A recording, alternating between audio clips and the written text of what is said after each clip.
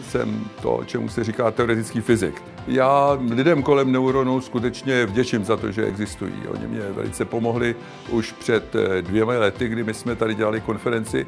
To totiž bylo právě 100 let od pobytu Einsteina v Praze.